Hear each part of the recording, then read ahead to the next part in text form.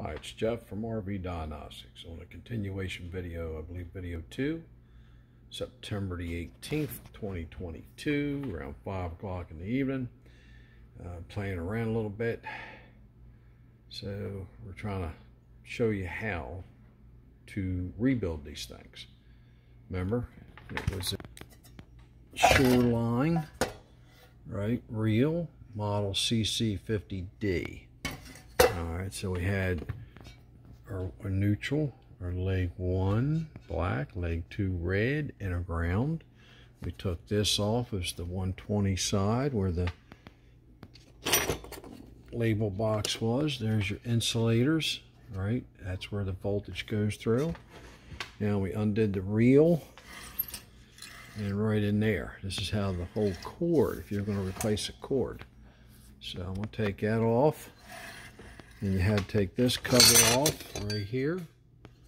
Right, basically, those four screws are holding, and you got a lot of 3 eighths on here. All right, here you go. Uh, it's coming up. Mm, man. And 5 sixteenths. There you go. 3 8 5 sixteenths.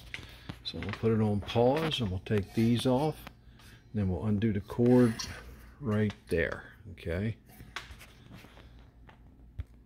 All right so there's the 50 amp cable taken off the reel. There's a nice one down there. Hmm. and this is the one that you hook to your transfer switch right? That end goes to your uh, receptacle outside shoreline or pedestal. All right so now you're going to say well how do you repair this well, that's the fun part, okay? So we got to get this apart.